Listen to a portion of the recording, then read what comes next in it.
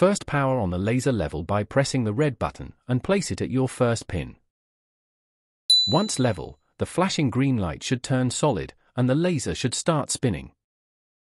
Then using the rotation button on either the remote or laser, line up the plumb point. With the first pin, you should see a red dot on the ground, and not a spinning laser beam. Using the rotation button again, start spinning the laser beam.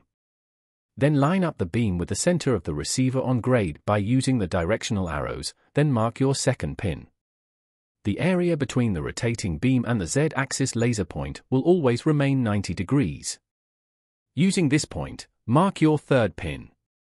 Then, if you set up the laser again at pin 2 or tree and line it up with pin 1, you can find pin 4, giving you four 90 degree angles.